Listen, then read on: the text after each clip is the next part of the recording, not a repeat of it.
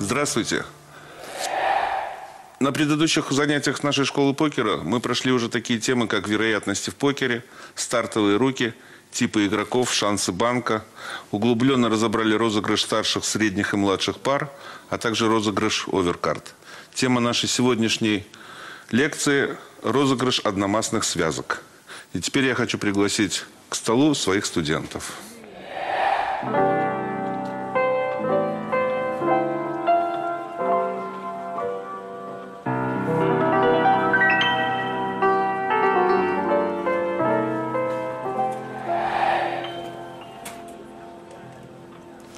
Здравствуйте.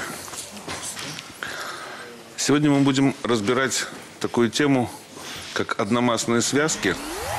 Что мы понимаем под одномастными связками? Это не очень крупные карты, связанные между собой, имеющие возможность построить стрит или флеш. Какие-нибудь такие 5-4 можем положить. Должен сказать, что это не очень сильные руки. И в турнирах, например, их редко на них играют. Но лично я, например, очень люблю разыгрывать эти руки, потому что они ну, могут позволить выиграть большой банк. Но для того, чтобы играть на этих руках, нам нужно выполнять ряд условий всегда. Ну, то есть, понятно, что если на этой руке противостоит какие-нибудь, там, я не знаю, два короля, которые дадут сразу большую ставку, одномостную связку придется выкинуть. Вот. И мы всегда должны ориентироваться на такое понятие, как шансы банка, которое мы как-то внимательно изучали. Если у нас есть какая-нибудь конструкция, позволяющая нам собрать стрит, ну, например, вот такой вот дама, а у нас здесь 9.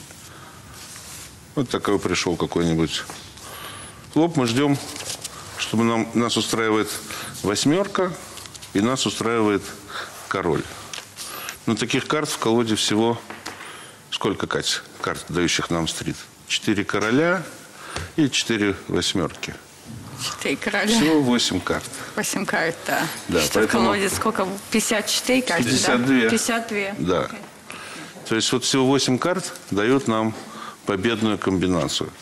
При этом, если вдруг у него два короля, как только что мы показали, то карт стало уже меньше. Всего лишь 6. Вот.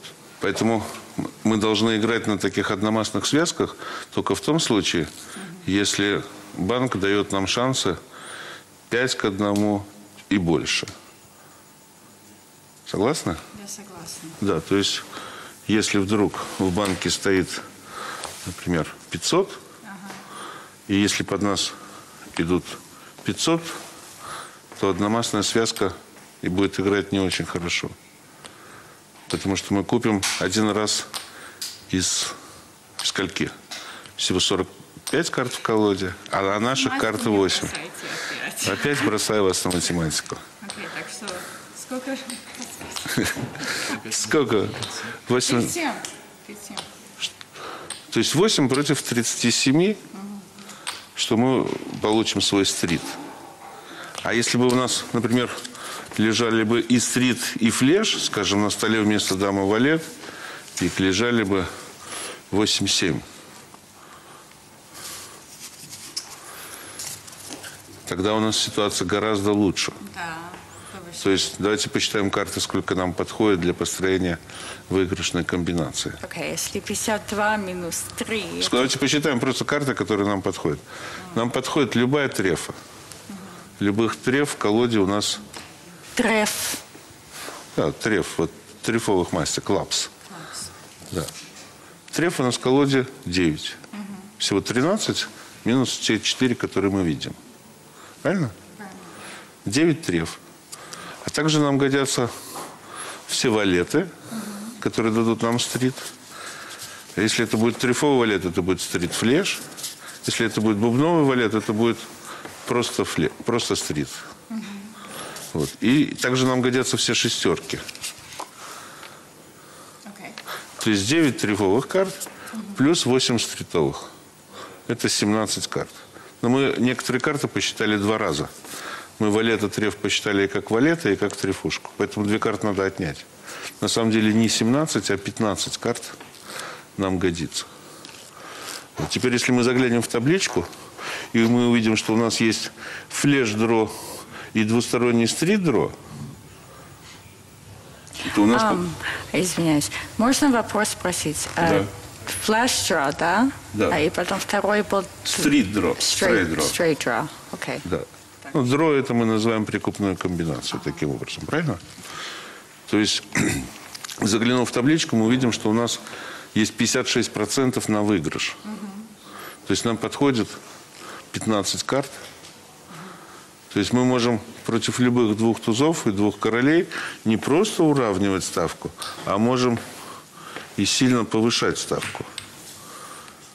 То есть если он выбросит, нам уже хорошо, мы забрали этот банк. А если он не выбросит, у нас больше половины вероятности, что мы этот банк выиграем. Окей.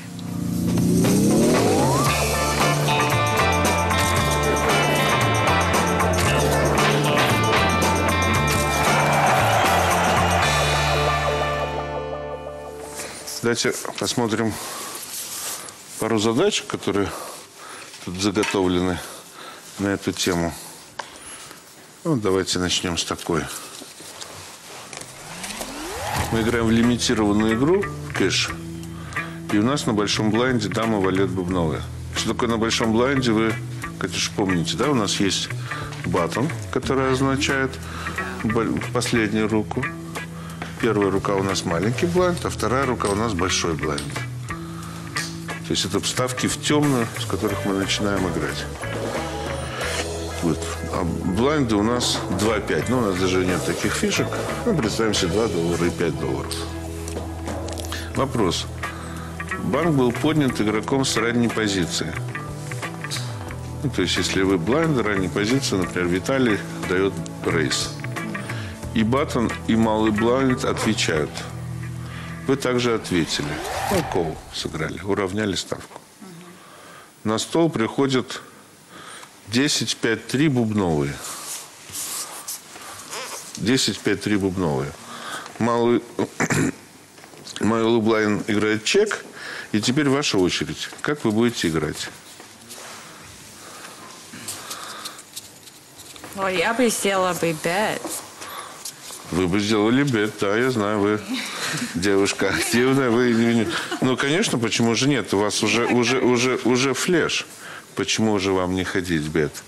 А вы, Виталий, что бы как бы сыграли? Флеш абсолютно здесь непобиваемый. Плюс он дает такое преимущество, как туз на столе. То есть он... э, Это не туз, это десятка. А, десятка, прошу прощения. Да, и у вас еще и самая старшая как бы, карта старше. Ну, тем более. э, Отпал немножко один аргумент, но это не важно. Я бы сделал, наверное, чек, потому что я бы дождался бета со стороны Баттона.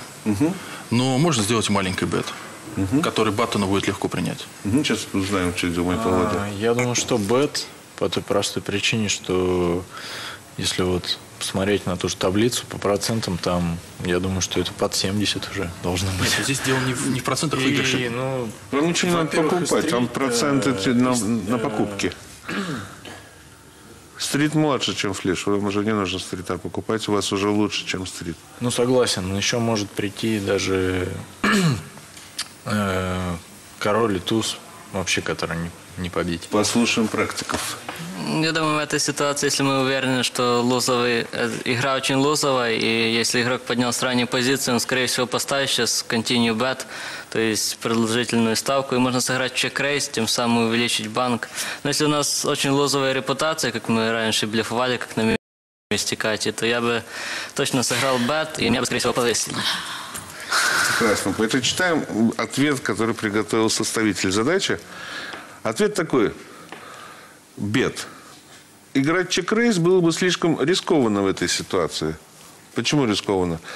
Во-первых, если вы сыграете чек, то с таким флопом вам может так никто и не ответить, если у оппонентов нет действительно сильной руки. Даже если он на чем-то таком... Ну, представьте, у вас там на чем он мог резвать? Туз, король, пик, там, например. Там. Ну, не знаю. Две девятки какие-нибудь, там, две дамы. Ну, например, в черных. Вот, потому что вы же заняли бубновые карты. Скорее, у него, если у него дама или валета, то они другого, другой масти, без бубновых. Вот, и они просто испугаются. И, и ничего не дадут. Будут опасаться, во-первых, что у кого-то может быть уже две бубны, а потом вам же неприятно, если есть одна бубна. Вот у вас есть два туза, но люди с одной бубной вам ответят в надежде на вторую. Вот.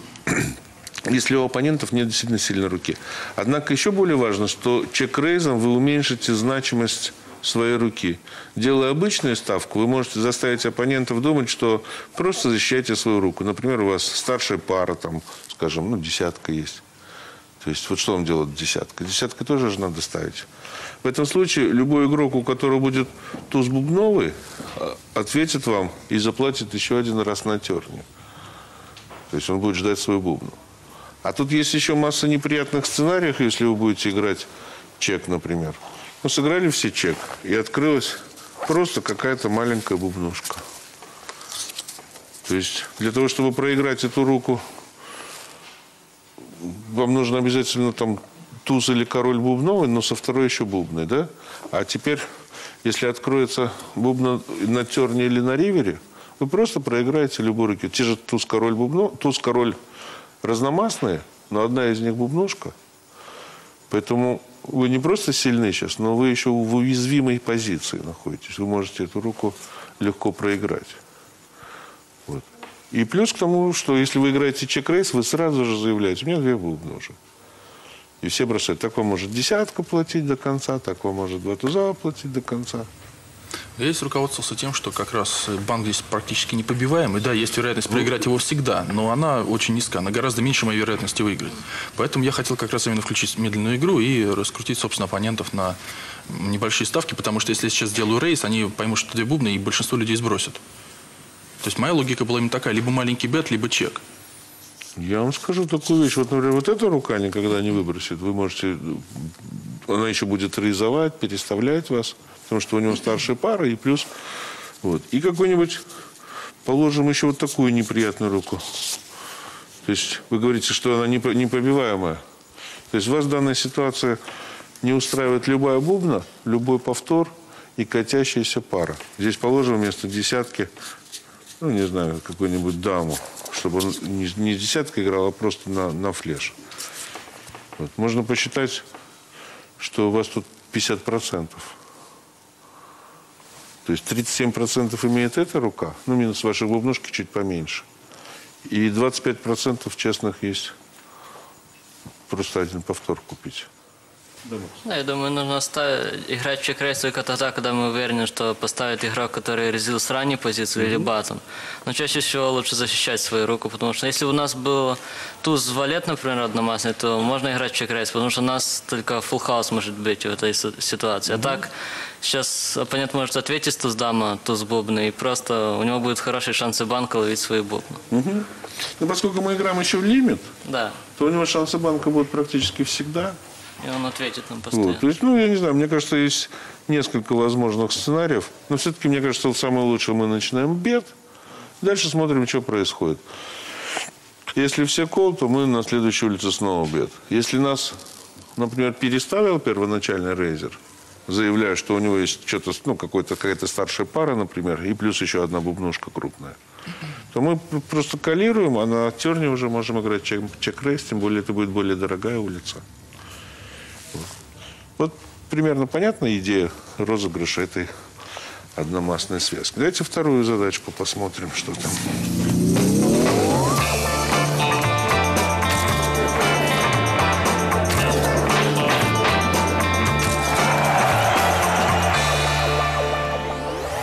Ваша рука 6-5 бубновые.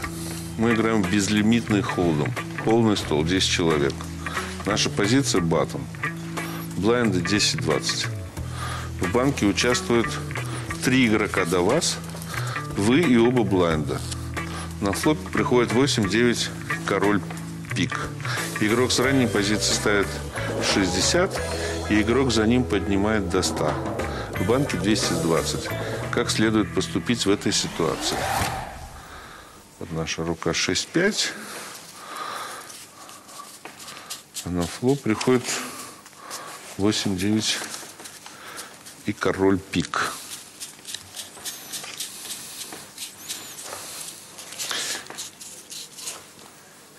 Кать, что будем делать? Well, Well, well, well. yeah. Во-первых, что мы имеем? Давайте Окей. посмотрим, какие у нас перспективы. Вот смотрите, я, я просто озвучу мое мнение, да? Да. У нас 5-6, я не знаю, как по-русски, ну, diamonds, да? С бубна. Окей. Тут 8-9. Да, У меня есть возможность, что семерка выйдет, да. и еще одна diamonds выйдет. Любая да, бубна, бубне. да. Ага. Окей, так что я бы pass. Вначале я бы сказала бы pass. Ну, я думаю, raise. Я бы прыскнула и сделала бы raise. Рейс еще раз. Там же, смотрите как. Вот уже, поста- уже в банке ставил 60. Первый игрок ставит 60. Первый игрок ставит... А у нас 50 игрок ставит. А за, ним, а за ним ставит... Это За ним ставит 100. Окей, call. Уже, уже кто-то сделал рейс, Кать, до вас. Call. Вы еще будете повышать? No, no, no, no, Вот так вот, у вас вот такие, такая торговля. Нет. Сейчас, Макс, одну секундочку. Я тогда call сделаю. Вы кол сделаете. А вы, Виталий, Ну, я бы банк удвоил. Банк, наверное, удвоил. увеличили бы? Ну, потому что есть очень много вариантов э, выигрыша. Есть э, возможность выиграть флешем, есть возможность выиграть стрит. Стрейтом можно выиграть стрейт флаш. То есть Ага. э, комбинация очень хорошая и вероятность победы. Ну, в данном случае мы, имеем флеш стрейт дро. То есть вероятность победы очень высокая. А если мы смотрим на руку оппонента, то, скорее всего, либо старшая пара или средняя пара была изначально, либо этот король кому-то добавил азарт для игры. То есть либо пришел второй король, либо еще лучше пришел сет на королях, что вообще замечательно. Вот, то есть, да, с этими деньгами можно, конечно, попрощаться, но зато можно сорвать действительно очень большой банк. Но дело в том, что когда вы говорите, что вероятность стрейт флаш очень высокая, то я вам скажу, что только лишь одна сорок пятая.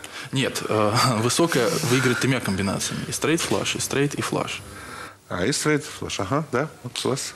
Мне кажется, безлимитный холдем настолько интересная игра, что здесь в разных трех ситуациях по такой раздаче я могу сыграть и пас, и кол, и рейс. Я наведу примеры.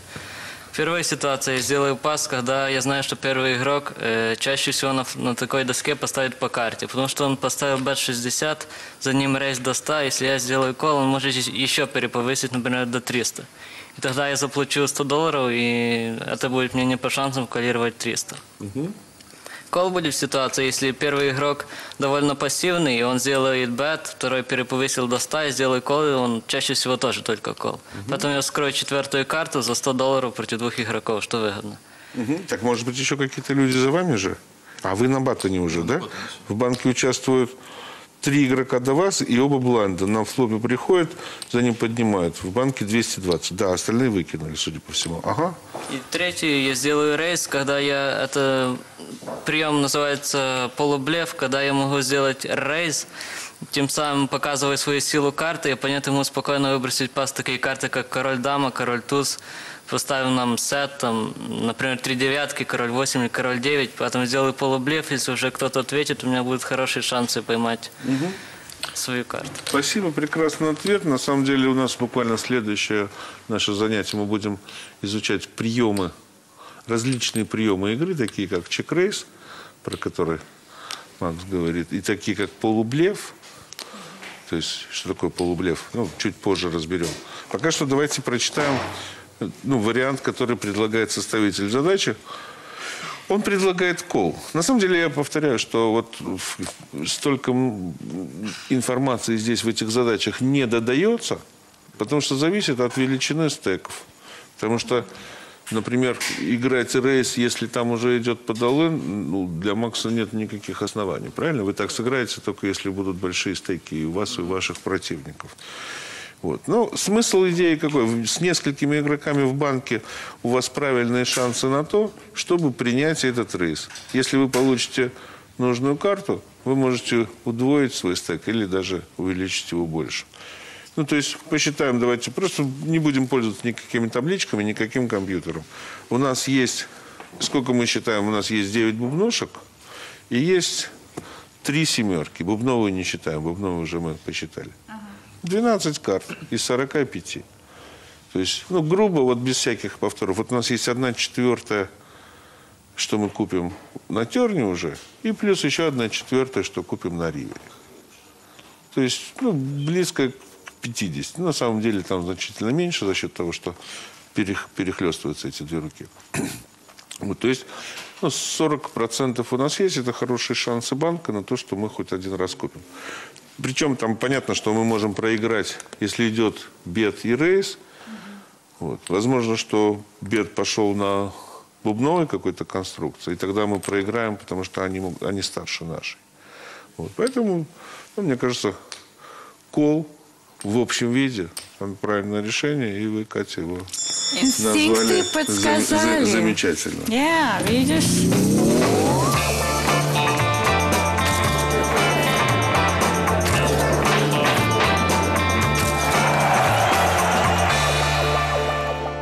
Я вам сейчас расскажу условия одной длинной задачки, которую мы разберем ну, частично на нашем кофе-брейке, который скоро сде- сделаем.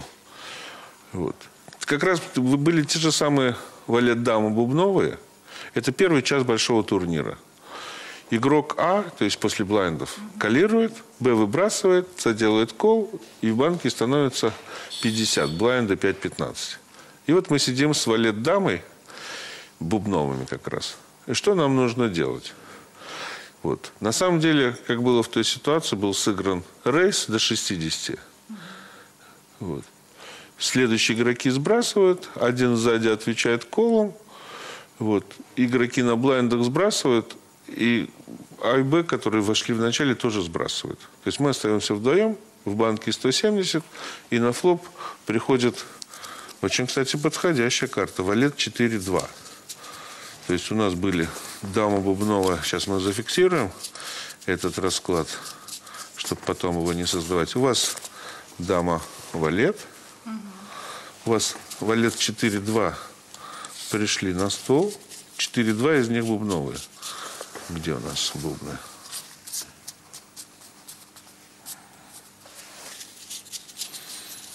Двоечка и четверочка бубновая.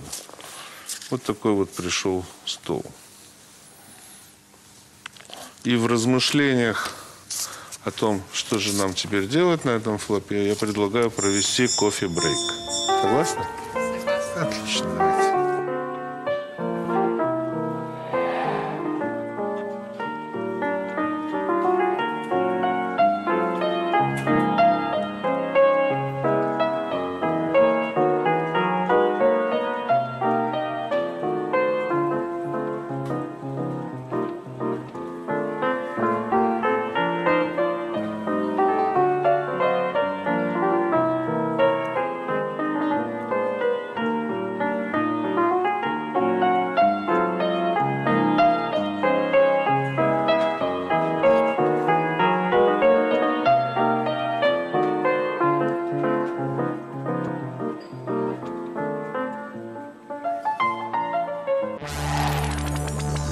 Хотите играть и выигрывать в покер? Тогда вам на 3WTV про покер.com. Только на нашем сайте вы найдете самые выгодные бонусные предложения от ведущих покерных порталов. Начните свою профессиональную карьеру с правильного выбора. 3WTV про покер.com. 3WTV про покер.com. Ваш гид в мире онлайн-покера.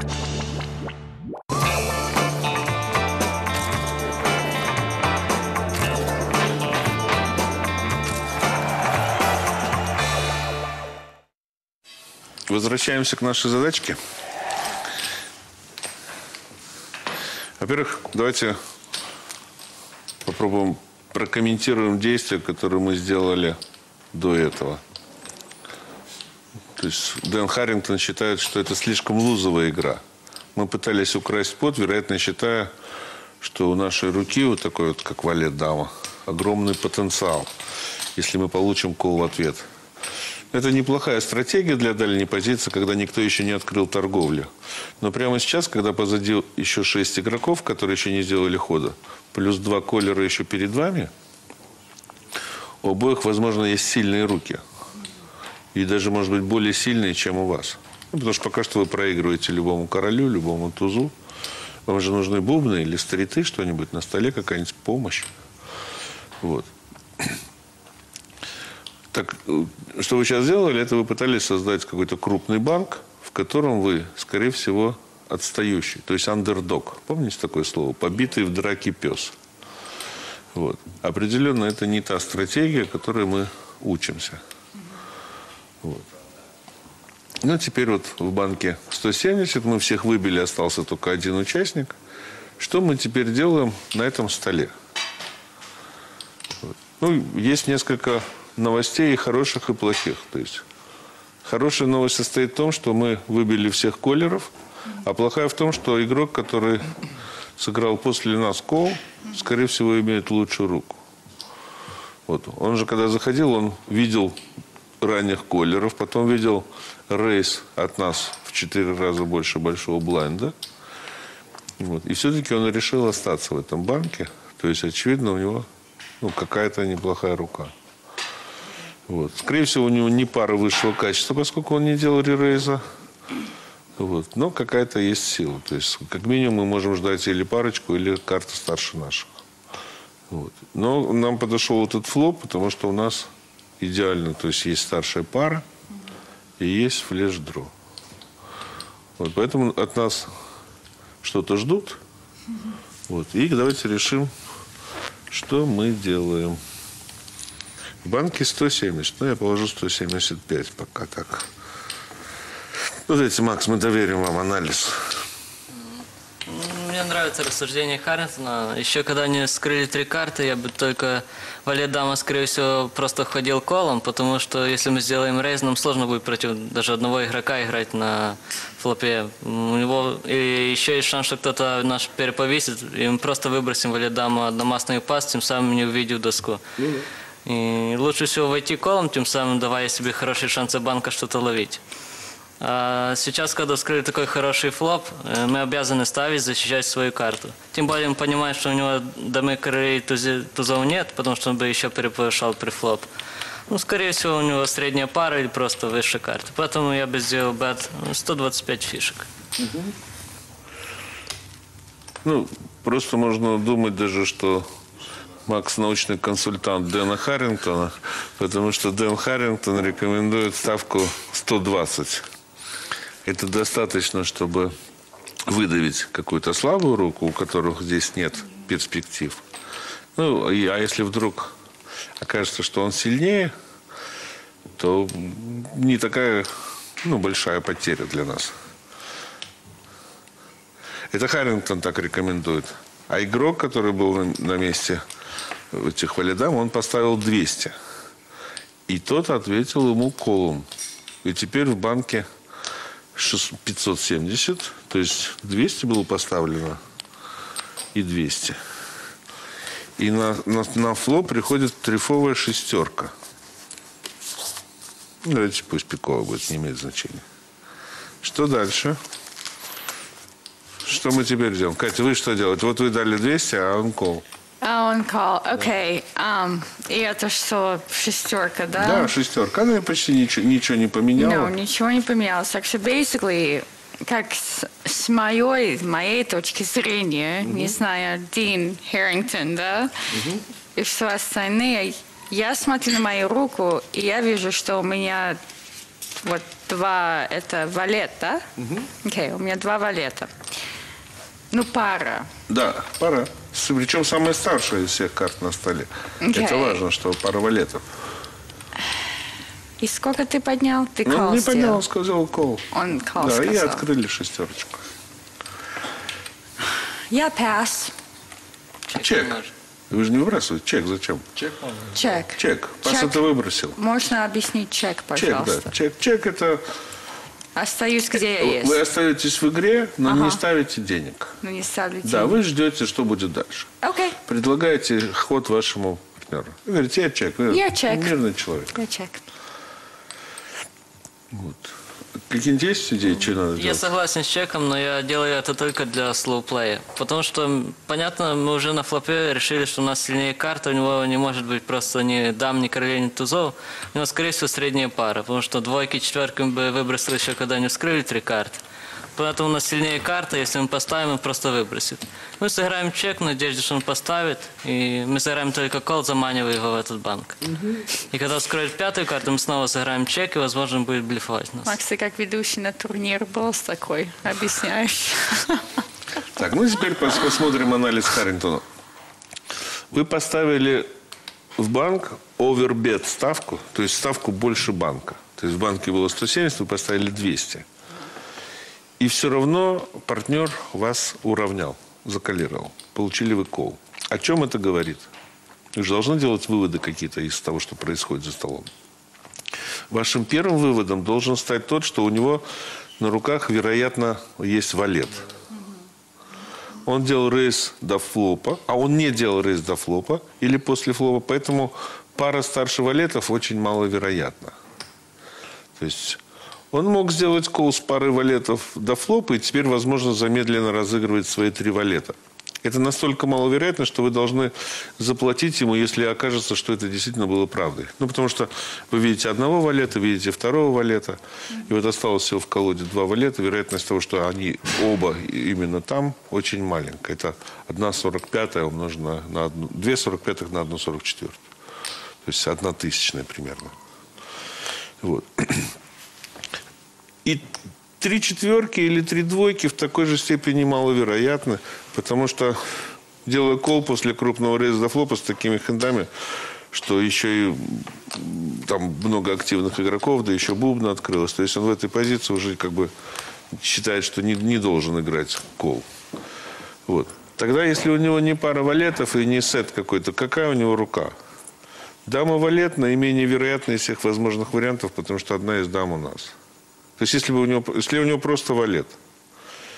Вот. Точно так же у него остается или, или туз валет, или король валет, который у нас пока старше, мы без бубны можем не выиграть. Вот.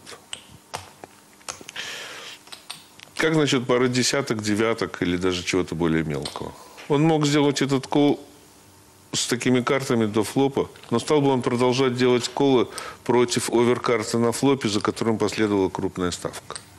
То есть, если у него девятки или десятки, он видит валету, он видит угрожающую бубну, он видит ставку размером больше банка, и все-таки он кол. Ну, скорее всего, нет. И не девятки, и не десятки. Вот, поэтому вряд ли он решится на такой дерзкий кол. Знаете, можно небольшой как бы вопрос? Да, конечно.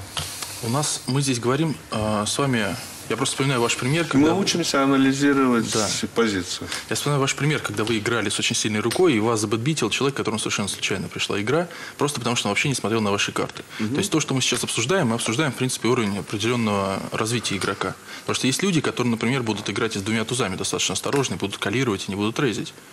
То здесь тоже нужно понимать общий уровень игрока, с которым ты играешь. Если это игрок уровня Макса, тут можно опасаться всего чего угодно. Но только не глупости. А если это игрок, который пришел в покер вчера, то э, от него скорее не дождешься ничего, кроме глупости.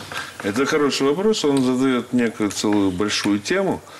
Значит, я предлагаю нам на школе покера всегда предполагать в оппоненте думающего, умного, считающего, опытного игрока. Потому что если мы научимся правильно играть против такого серьезного игрока, то вот такого, который пришел случайно и сыграл там на любой карте или там делает какие-нибудь ошибки или глупости, мы его тем более обыграем. Мы хотим играть и выигрывать у думающих, грамотных игроков просто за счет того, что мы соблюдаем игровую дисциплину, считаем шансы банка и рассуждаем, что может быть. Да, Макс? Да, я, полностью согласен с Виталием, что на четвертой карте именно сейчас нужно думать, какой против нас играет оппонент, потому что можно сыграть три разных хода против трех разных оппонентов, как и постоянно безлимитным холдами. Если будет играть слабый игрок, то здесь может широкий диапазон быть. Но если это хороший игрок, то здесь только две карты возможно. У него король валет и король туз. И сейчас в такой ситуации лучше валет даун просто превратить в блеф и выбить ему эти две карты. Поставив, чтобы он подумал, что у нас сильная карманная пара. То есть на пятой карте в большинстве случаев поставить большой бет, я думаю, он чаще всего выбросит свою топ-пар. А если нам скроют флеш, тогда сделать небольшую доборную ставку. Здорово. Есть маленькая проблема. Э, Хорошо вам рассуждать. Вы некоторое время уже играли в покер и в интернете, и не в интернете. и вы говорите, против сильного игрока я пойду так, против слабого я пойду так. А что делает Катя? Катя не очень может разобраться, какой игрок сильный, какой слабый. Мы, мы пока что, как бы мы ведем школу покера для начинающих, у нас разные составы, но мы ориентируемся на тех, кто ну, недостаточно. Мне вспомнилась история, как мой сын как-то мне говорит там в пятилетнем возрасте, он говорит, а вот моя бабушка все-таки играет нарды лучше тебя. Вот. Но поскольку я был, входил там, в десятку в Союзе в эту игру, мне было несколько забавно это слышать. Но я же разговариваю с пятилетним, я говорю, возможно, это и так, возможно, ты прав. Но для того, чтобы делать такие умозаключения, ты должен играть, по крайней мере, лучше, чем и я, и бабушка. Как бы, чтобы смотреть на наш спор сверху. Потому что сегодня ты просто не имеешь права на такие выводы. Поэтому, конечно, Макс прав. Конечно, против разных игроков мы должны сыграть по-разному. Но сейчас мы пока еще с вами ученики, и мы не знаем, какой игрок против нас. Вот поэтому мы должны предусмотреть ну, некоторые возможные действия просто некого среднего думающего человека. То есть он не случайно ставит, и у него что-то есть. Вот мы пытаемся разобрать это что-то. Может быть, у него король валет или туз валет, рука, которую мы попытаемся выбить. А как насчет туз король бубновый? Может быть, подходит ко всем его ходам. Он, он играл кол, он играл, да. Эта карта подходит, и он ее вряд ли выбросит. Вот. А может быть и выбросит. То есть, может быть, он сейчас не выбросит, а на ривере выбросит. Кол до флопа имеет смысл, и после флопа у него было две оверкарты плюс прикупной флеш, что в сумме дает ему 15 аутов. Он фаворит с небольшим преимуществом. Мы смотрели, 53% у него, если у него туз король бубновый. Вот. Туз король, туз дама или король дама одномастно – это действительно длинный ряд. Он может сделать кол после флопа с этим хэндом, только если он уверен, что вы блефуете. Но никто не может быть уверен в таких вещах. Таким образом, с самой высокой вероятностью у него или туз валет, который нас обыгрывает, или туз король бубновые. Или подобный хенд, который сейчас, после того, как карта на четвертой улице пришла мимо, он является андердогом. То есть пока что мы сильнее. Здесь, кажется, необходимой какая-нибудь ставка – мы не можем допустить, чтобы какой-нибудь недостроенный флеш получил бесплатную карту. Я бы поставил, Харрингтон говорит, примерно 300, чтобы, что не дает ему достаточных шансов, чтобы ответить колом, если у него действительно туз король, хенд, у которого 12 аутов. А 12 аутов он считает 9 минус наших 3, 7 бубновых – и также три туза и три короля, которые станут лучше. Да, Макс? Ну, я думаю, да, очень сложно определить, какой оппонент против нас играет, поэтому такие карты, как валидам одномастные, лучше играть от защиты. То есть, если вскрыли такой хороший флоп, мы можем еще сделать ставку и прокалировать его, его при повышении. Но уже когда скрыли шестерку, если мы поставим, он сделает нам рейс, тогда будет сложно делать кол. Поэтому лучше ага. всего сыграть чек, если он поставит, но только кол. От защиты, чек-кол.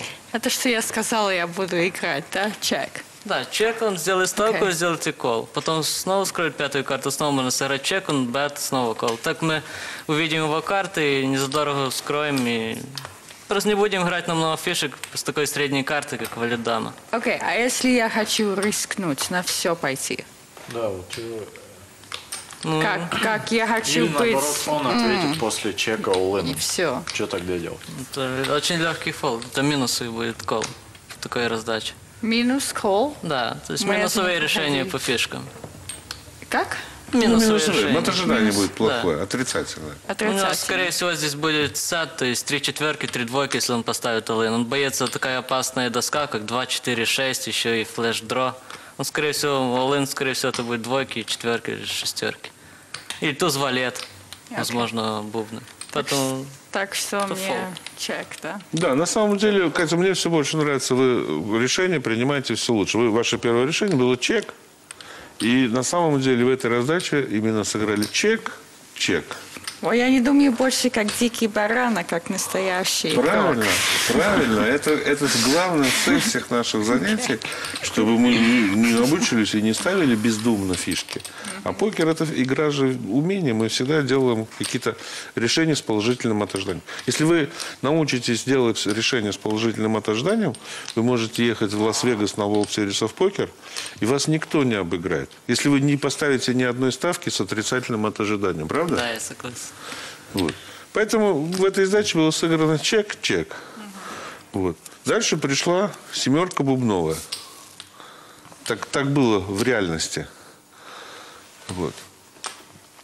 И теперь что делать? У вас флеш. И поэтому вам придется делать какую-нибудь ставку. All in.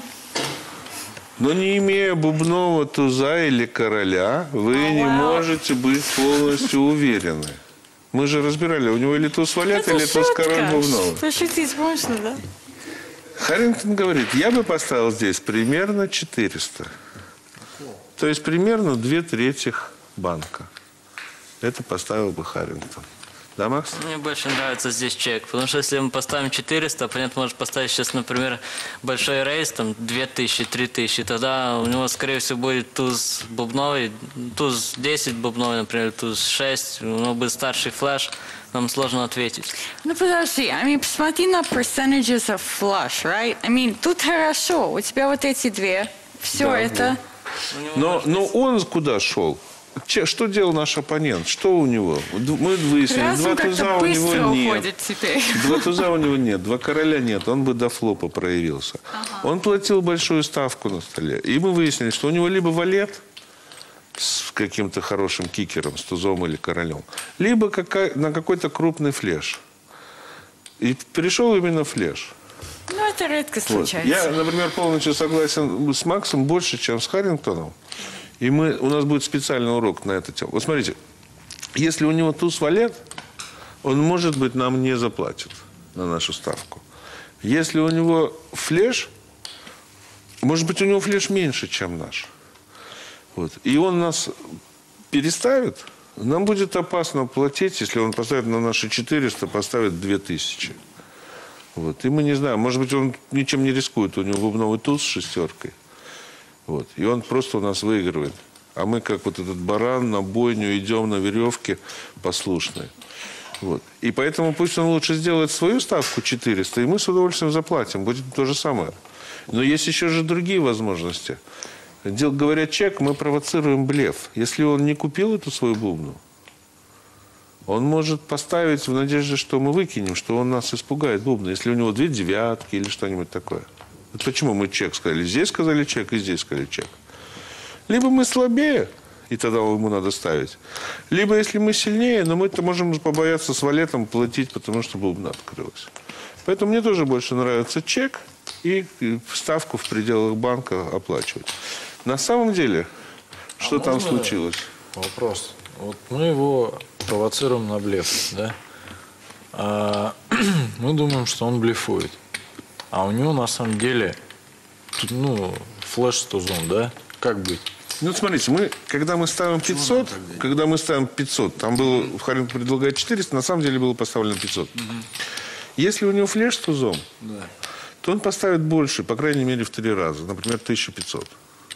Ну, а если он И тогда нам нужно будет- решит просто коллировать? С тузом зачем? Ну, Он же, он же выигрывает.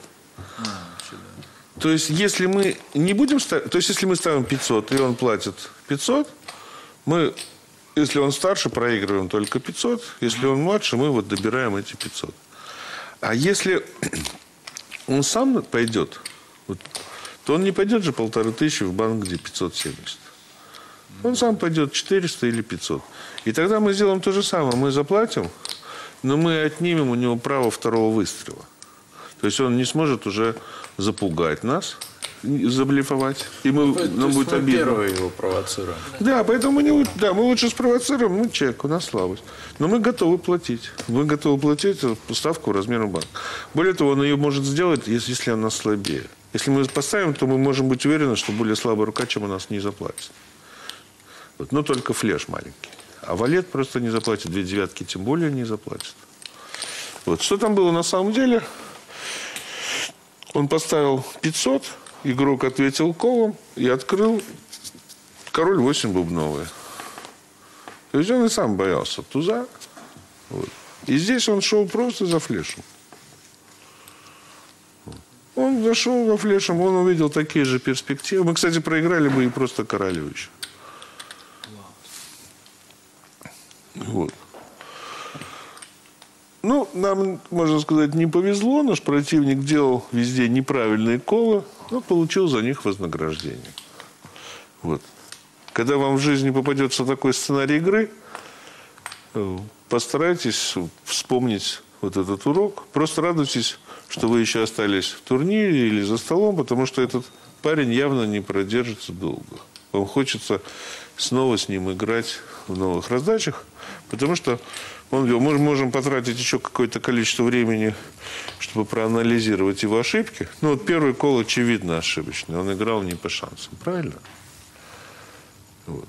То есть, следовательно, мы, мы готовы были, мы даже готовы, мы же играли против туза короля Бубнова. Вот. И именно сказали чек на ривере, потому что одна из возможных рук, которые мы клали оппоненту, были туз король Бубнова. И нам повезло, что у него был именно король, а не туз. И он не имел возможности повысить наши 500, которые мы дали. То есть мы дешево отделались.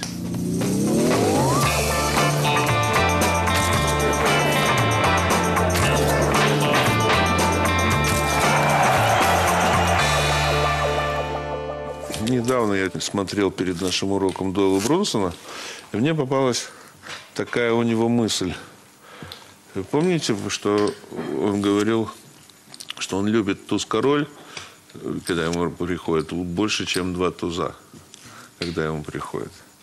А почему? Потому что туз-король легче выбросить. Вот. Ну, не, при, не пришло совпадение, выбросил. Но есть еще одна очень важная деталь, почему туз-король ему лучше, чем два туза. Вот представьте, приходит какой-нибудь флоп, там, ну, например, туз 8-9. Туз король лучше, чем вот, два вот туза. 8-9. Если у него э, туз король... Я бы сказала, два туза ракс в этой ситуации. Не, в этой ситуации, да. Но, но не в этом дело. Дело в том, что когда у тебя на руках туз король, ты э, делаешь пару с одной из карт стола и своему противнику отдаешь только две карты – для построения какой-нибудь комбинации. И если у него, например, ну, какая-нибудь карта, какой-нибудь дро, который тебе самое неприятное, там, 6-7, ага. то он еще пока ничего готового иметь не может. А ты имеешь старшую пару с королем-кикером. Вот. Где-то возьмем какого-нибудь короля. А если, например, убрать этого короля и положить сюда туза, и к той же карте на столе открыть там какую-нибудь карту, ну, неважно, валета, там, пятерку. Знаете, вот там у Бронсона как раз пятерка. Вот.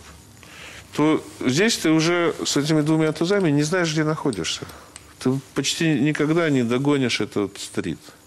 То есть тебе нужно купить что-то необыкновенное. То есть тебе, ты можешь теперь купить только house, чтобы выиграть. Потому что здесь уже готовый стрит. Вот так, вот так он выглядит.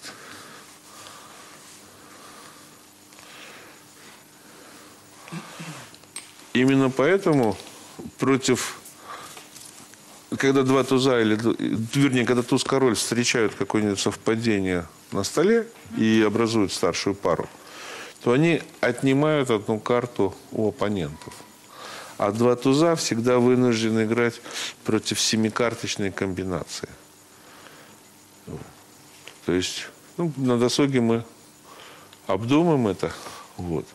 А теперь мы, я скажу вам, что следующее наше занятие это мы будем рассматривать весь арсенал технических приемов в покере. То есть мы пробежимся по ним быстренько. All right. Да. Я думаю, будет интересно. До, до встречи.